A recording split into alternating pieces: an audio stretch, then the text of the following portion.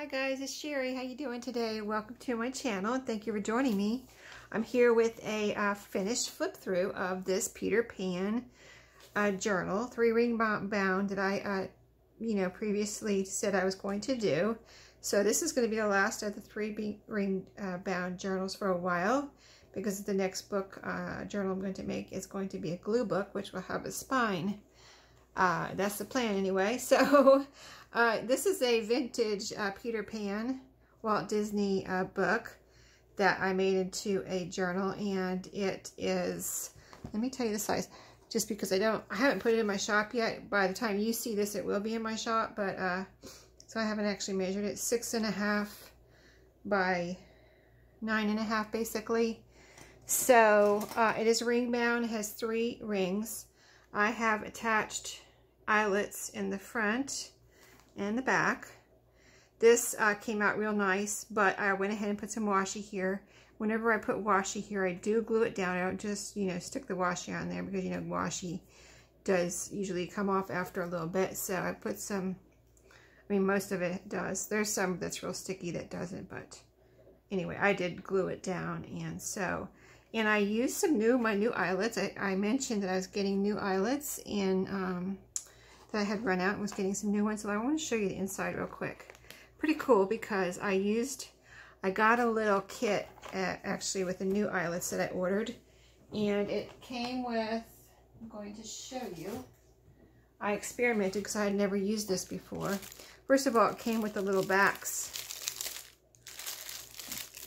Came with the little backs, you know. I mean, I had some other eyelets the other ones I was using had the backs too, but I never used the backs before. I really, um, I don't know, I just didn't think I could, uh, I, I didn't think I needed them, I guess. And so I wanted to try using them. See these little things that come with your eyelet sometimes? It's like the back of it. See that? So yeah, uh, I ordered on purpose a kit that came with, these are silver. It came with the silver eyelets with the backs. They all have the backs and it came with bronze, these here. And so it came with those two packages, and it came with this little um, tool for setting eyelets. And of course I have my Crop-A-Dile, but uh, I kind of like didn't think, I mean the Crop-A-Dile works fine, it works, it works awesome really. But with the bigger eyelets, I didn't know if it was really great with these bigger ones. So I wanted to go ahead and try this little tool. So I used these two pieces, and if you want me to demonstrate these sometime, let me know, because they worked awesomely. It's, it's just that I put them down on the floor and hammer. so I don't hammer. I mean, I can hammer on my table in the middle here. It's hard enough for me to pound away on it. It wouldn't hurt my table. I have a cutting mat here. So I could do it here if you really wanted me to demonstrate these, but it worked out really well.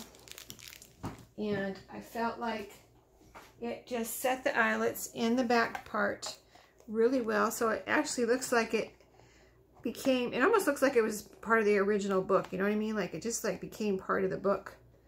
If you can see those there. See that? Let me show you. Let me show you. I don't know if it's coming through on the camera, but yeah, pretty cool. So those are on the front of the back. And um, I just wanted to show you that because I had never used that little tool before and I really like how it worked. I'm going to be using that for these bigger ones, these bigger eyelets. Made a little tassel here to match. Um, this fabric here was some Disney fabric actually that I had left from when I was making masks.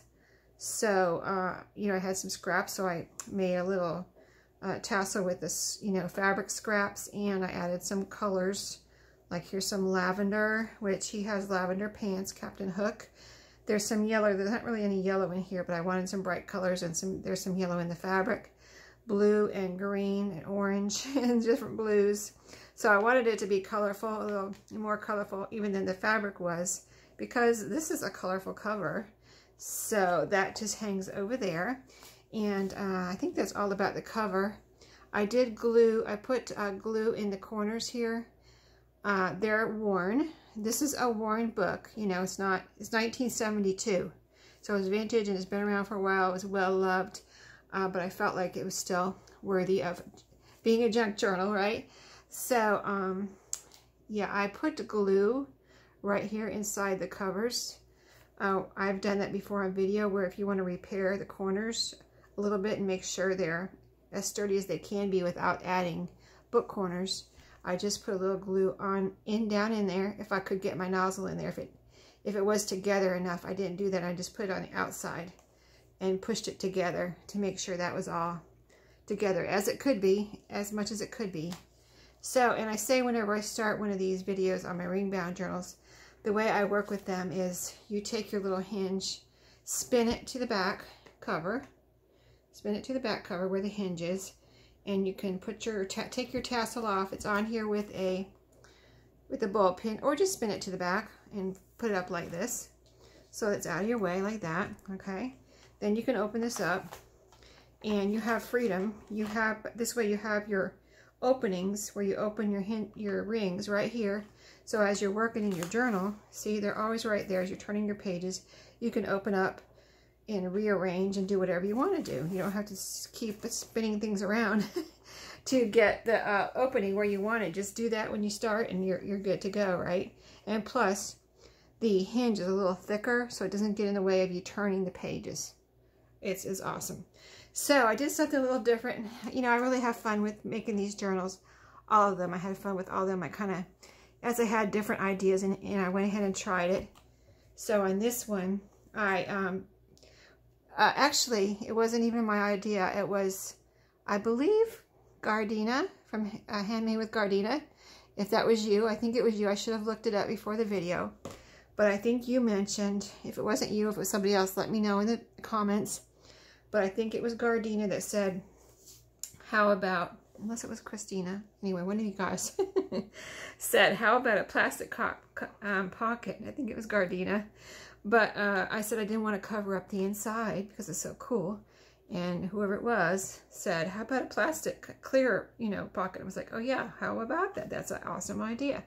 So I decided in this one, I was, again, I didn't want to cover up this awesome, let me show you, awesome inside pages of the original book. So I did go and find, I have perfectly clear, like I could have put perfectly clear in here, but I found this plastic here that I thought was so cool. I think it might be laminating paper. I don't know. It has little squares on it. And I was like, well, that is cool and different. So I decided to do that and I just glued it down with art glitter glue and made a pocket there, a little plastic pocket. And these are the goodies in this pocket. This is a tag that I had in my stash. It's um, has the, it has kind of an ocean theme, which you know, um, Peter Pan hangs out on the boat a lot, so I figured it went with this journal. And this is um just a, you know, I find kind of, you know, little bits of ephemera at the thrift store. And this is a carry-on baggage luggage tag that you can have fun with. It has even has the original string on there. I think, it, is it stretchy? Yes, a little bit stretchy still. But I tucked that in. I'm trying to let go of some of my you know, things are just, you know, I have only one of those. So, you know, it's kind of hard sometimes to let go of something when you just have one of them, one of them.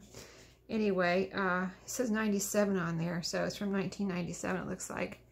This is actually a, well, this says 2002. This is a little envelope from a Clue game. I only have one of those too. It says confidential. If you recognize, if you play ever played Clue, you might recognize this little brown envelope. So that's another fun thing I parted with to put in here and as ephemera. So as we turn the page, this is the original first page. I have all the original pages in here. The stories in order. And I just put all the stuff I put in in between.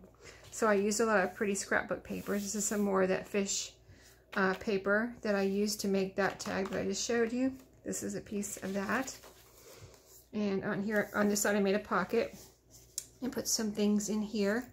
This is just a little like drawing card I made out of a brown envelope that had this um, kind of lines and things on it. This is another tag made out of that fish paper and it has a little key tag on there, a little bit of yarn there or twine. And this is some tickets that I had received in Happy Mail that I thought you could have fun with. There's some brown tickets. So tickets are always fun, right? Um, I have a few pieces of ledger paper in here. Here's the original title page. The copyright's right here, 1972. Um, scrapbook paper. So I tried to put like neutral uh, scrapbook paper in here. So this could be for anyone. young or old, right? Boys, girls, women, maybe not men, but I guess a man could use it if he likes, if he's, if he's a Peter Pan fan. But anyway, I, that was my um, thoughts when I was I was uh, putting things together here. So this is ledger paper that I have from a big ledger that um, had writing on it. So you'll see if you get this journal, you'll see there's little some numbers here. But lots of writing space too, or whatever you wanted to, space to do whatever. A bingo card, page from the book. There he is, Peter Pan, and pretty scrapbook papers. There's a couple here. This is a post-it or like a, you know, sticky note that you can move around. So it's stuck on here, but you can, it's not glued down or anything. You can move that around. So it's writing space. then you have all this space, you know, you can leave it there as a flip up if you wanted to. You have all that space. Here's just a little kind of um, writing space there. This is, um, I put a few of these in here in different sizes and did different things with them, but this is a the index page, one of the index pages from my vintage atlas. So I love these columns and numbers and things here on these. So I put, I didn't want to, I kind of did something different because I've been kind of cutting them down and I decided to make this one. See how what, this is not, this is even cut down a little bit, I think, uh, from the original, but I decided to leave this as a flip out. I have a few flip outs that I did in here in this one, a few more than others. Peter Pan and scrapbook paper. Here's a little post-it or a sticky note there. Guest check, some kids writing paper. There's two pieces here. I like to put, you know, a variety of sizes in here too. I think that makes it more fun. This is um, from the Atlas also, that same Atlas. It's a map page. That's a fold out. Bridge score pad, uh, scrapbook paper. See how that's kind of neutral. There's some neutral in here. Uh, Peter Pan, and scrapbook paper and graph. This is a divider card, a big one. It's a great opportunity to use those in these bigger journals. And just scrapbook paper. This is a Curious George card. Uh, this is only the second one I parted with. I got these from Maria sent these to me. And I have a few that I'm saving for maybe a Curious George journal one day, but I thought I'd go ahead and, you know, I like to put fun stuff in here. And so it fit in here. So perfectly, right? So I went ahead and put one in here. It's a great writing space. And here's some more of that ledger. And this one actually had a receipt on it that I left on there. So Peter Pan book, scrapbook paper, an envelope. You can see it's like a blank journal. And this could be a good, good uh, glue book too. Because it's a, got a lot of blank pages in here to decorate, to glue on, whatever you want to do. This is a tag, journaling card slash bookmark, whatever. It's map scrapbook paper that's cardstock. This is a little, um, I'm not going to open it up, but it unties and you can open it up and there's room in here to write or glue something in there, whatever you might want to do. It's made from a big brown envelope that was um, given to the thrift store, I guess, by the schools around here. I guess they didn't use them anymore. They were never used, but they were very cool. Ledger. So this book. This is the fish paper, but I cut, I, this was like a piece that I had cut down. Actually, this was going to be a page and I messed up on the holes. So I had to cut it down and this is what was left. So I made it into a little page and it's actually a flip out too.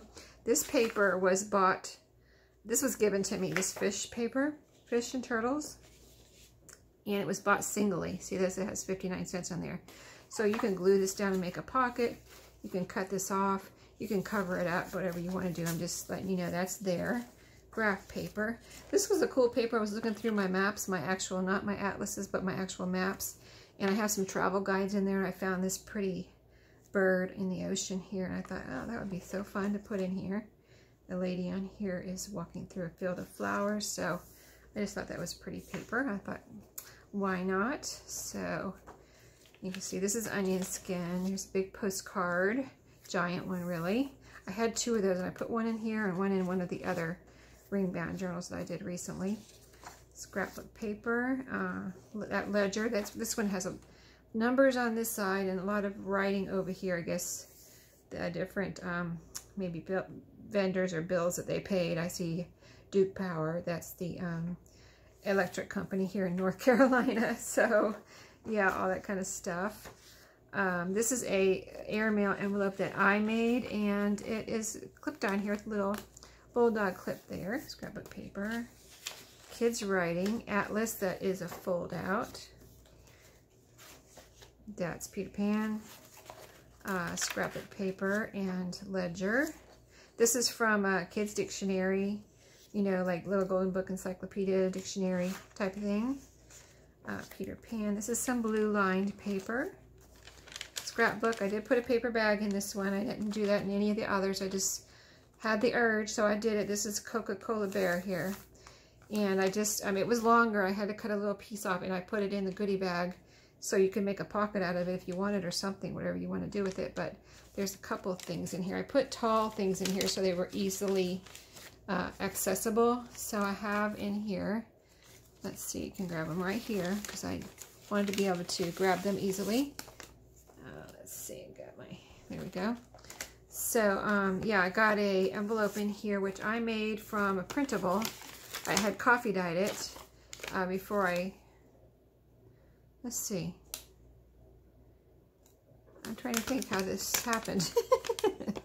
uh, anyway, uh, however it happened, it's an envelope. Maybe, oh, I must have printed it. Uh, it's a little confusing because it looks like a regular envelope. Anyway, however I got it, I must, I think I made it out of a printable. I had coffee dyed this side. And right here, you can put a label on here or anything and decorate this and have fun with it. So I don't know. I don't know exactly. It was a while ago. It was in my ephemera stash, and that's my story, and I'm sticking to it that, on that one. So this is a bookmark that I had picked up. It looks like a ruler. Isn't it cute? Uh, that's from a thrift store, of course. Everything in here is from a thrift store, except, except for what I've told you, maybe that I printed like that envelope type of thing. So writing paper.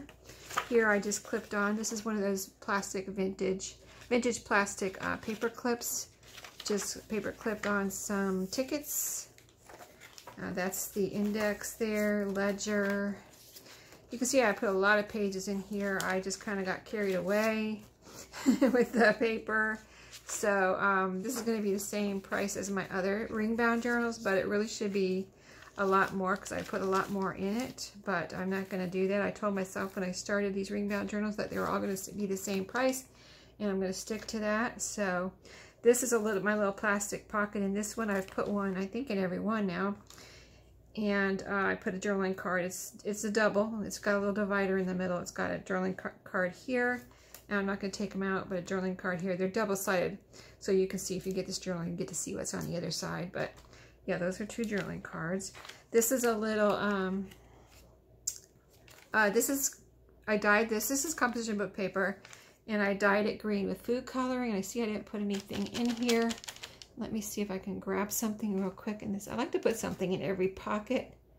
Let me see what I have. I have, uh, oh gosh, I, I kind of cleaned up a little bit already, but I'll put a, I need to put a flower in here after I said it was neutral. So let me see. Let me put an extra, oh, here's something. Let me put one of my handmade Rolodex cards in here. Let me see if I have one that's neutral. Uh, I have I have put some of these in. Oh, this is something you can use as a tag here. And, oh, here's a little just, uh, oh, that's floral. I don't want to put a floral in there. Uh, this is just uh, from a file folder. It's kind of paisley looking. So it's not necessarily girly, even though it has pink on there. So I'll put that in there too. Maybe a girl will get this. We'll see. But yeah, two, two, I put two little cards in there. Okay. We're good to go. This one's composition book paper too. I did a little fold out here and this is blue, blue dyed with food, blue food coloring. Blue line paper. This is the index car, um, page from the Atlas. This is more that beautiful matte paper. It's so pretty. And this is the Little Golden Book Dictionary. You know, all the pages from Peter Pan. So, yep. Basically, you know, you've seen, this is just kind of a duplicate of what you've already seen here, except for, and this is the back. So, you know, this is the original back page. I left it there to go with the back cover, of course. And then this is the plastic, clear plastic pocket on the back. I did the same thing and just put some, this is a flashcard, playing card, and playing card. I put in here some colorful ones to go with the fun, uh, you know, Peter Pan, Disney theme. So that is the journal I'm going to show you real quick what is in here. This is a goodie bag that matches uh, as best as I could. The, uh, the journal. Let's see which way is up here. This way is up. I just put a lot of stuff in here. I was like, I going to share you or just getting carried away with this? Because I was going to put more in here. I was like, okay, I can't really get any more in there type of thing. So um, all the scraps, all the scraps are in here. I'm going to put, make a little pile of scraps. There's a library pocket. I had put some cardstock on the back of this one. Little label, flashcard. Here's some more flashcards, different size flashcards. Oh, this was in with my flashcards, and I guess you were supposed to make one yourself if you needed a needed an extra one, so that's blank. This is a ticket from the planetarium. Uh, I think this is in, I think this is in Greensboro, North Carolina. I'm not sure. It doesn't say, but I think it is. So anyway, I thought that was a cool little piece of ephemera. Oh, I got two little library pockets in here. All right, that's okay. you can have two. Uh, envelope that I made from an old book page. The um, hello, my name is labels. You can always glue those down and use them for journaling spaces or whatever to decorate something. Maybe that envelope that needed something to cover up that part. Here's some little labels, colorful, for, you know, the whole colorful Disney thing going on in this journal. Some more red and white labels, a big luggage tag that you can decorate. I've been putting these colorful reinforcements in every one in case you want to use those for protections or just use them for fun, you know. This is a vintage postage uh, sticker label. And we've got, I put lots of note. I went through all my little notepads that I have in this certain area and I pulled one off of each. So this is like apples. I'll go through them real quick here. That's pretty dotted one. This is from a teacher that I got from her estate sale. That one I think might have been from the teacher too. Thrift store. It says mom note. This is a recipe card. A paint chip sample. a someday note piece. Um, this is a little receipt that I took off of the ledger paper. I had to cut it down and this piece was cut off. So I went ahead and put in here. Just, I told you I put all the scraps in here. So it was kind of, I either put it in here or put it in my scraps or put it in the trash. So I put it in here. this is the piece from the bag I told you I cut off. So you can make a little pocket or something out of this. It has little Coca-Cola bottles on it. Uh, that scraps. Look, at I even put these. These were so pretty, I couldn't throw them away. They're from the map, from the vintage atlas. So I put those in there. A piece of the ledger with the writing on it. Just some little 6 by 6 scrapbook papers that I have. I put a couple pieces in there, colorful ones. Coin rollers, Rolodex card that I made from a file folder. Uh, little index cards that I like to chop in half. I love these little, I love them when they're cut in half. They're so cute. and little just, these are some scrap, little scrappy, I call them little scrappy journaling spots. This one was, that was a file folder. This is just paper. Uh, this is scrapbook paper, like cardstock. This is a little ticket. This is a blue Rolodex card. This is a Community Chest Monopoly card. This is a little tag. And here's another little, just some little tags from my stash. And that is it, guys. I hope you enjoyed. I had fun making this and uh, will be in my shop when you see it. Um, when you see and, you know, I tend to uh, finish these before I get to publish the video. You know what I mean? Like I have another video or two already scheduled. Just a, just a tip in case you're looking to get any of my journals. My, you know, the ones I'm just finishing here.